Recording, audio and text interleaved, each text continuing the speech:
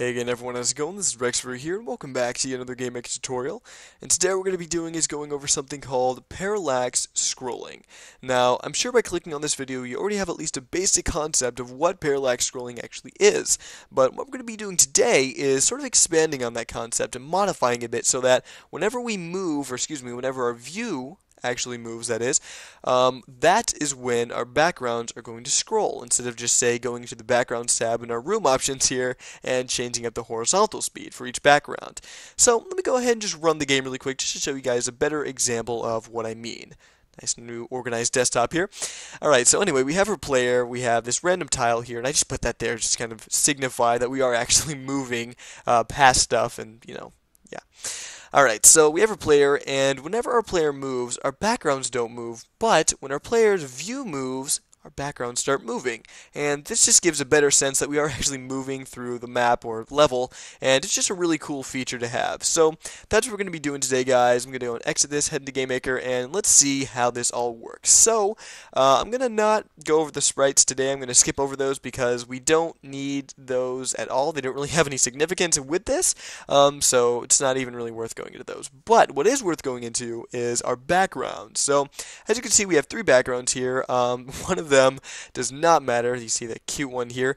Um, but these two ones right here do, the front and the back. And they're named accordingly to what they are in the room. So the front one here is just a 64 by 64 little kind of gradient filled mountain and it signifies that it is the front uh, background or tile I guess um, that we want to use in our map.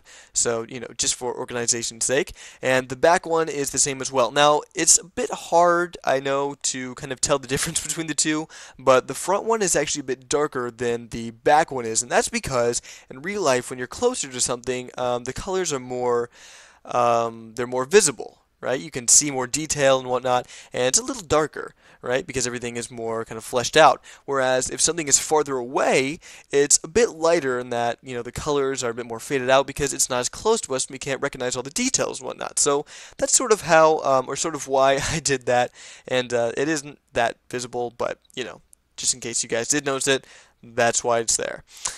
Alright, so um, heading down to the objects now. So our player object as well as our collision object actually don't have any significance um, whatsoever in this tutorial. I'll just quickly show you guys what's in these code boxes in case you're curious.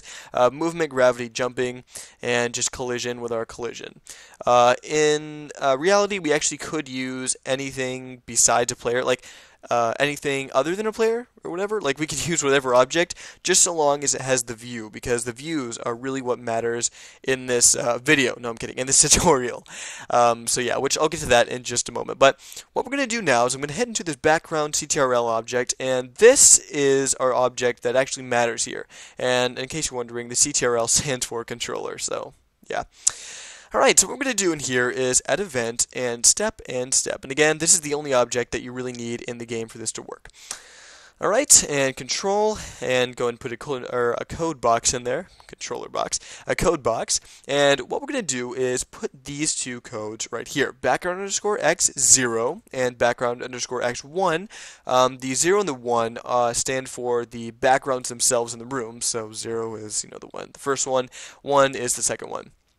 Okay, and the equals view underscore x view uh, zero. Again, that zero stands for our current view. So if you have, say, a bunch of different views, then you know the one that's following whatever that moves in the room, you'd want to go and replace that with like view 1 or whatever. But since I only have one view set, I'm going to go and put view 0.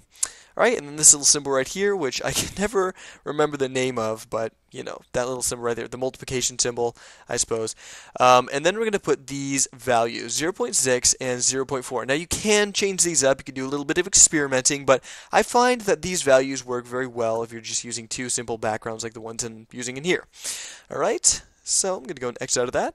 And we're going to want to put that in the room, doesn't matter where, just anywhere in the room. And what we're going to do next is we're going to go in our backgrounds tab and set up our backgrounds if you haven't already. So the reason why I named these front and back is just not to signify um, that they are front and back, but for also, you know, for organizational purposes. So the way, if you er, excuse me, if you don't know, get head myself in words, um, if you don't know how this works, is background zero is the very back background. Okay, background one is the well, I mean, it's the background above background 0, and so on and so forth. So background 0 is the very back one, so we're going to go ahead and choose our back background, and you can go ahead and change with the Y values. I changed mine up to uh, 330, so it's behind this one, and then background 1 is 360, so, you know, it matches up with my ground here, 360, and is still in front of this one. Alright, now we're going to go ahead and now that we have our background set up, we're going to go to the Views tab and set up a view.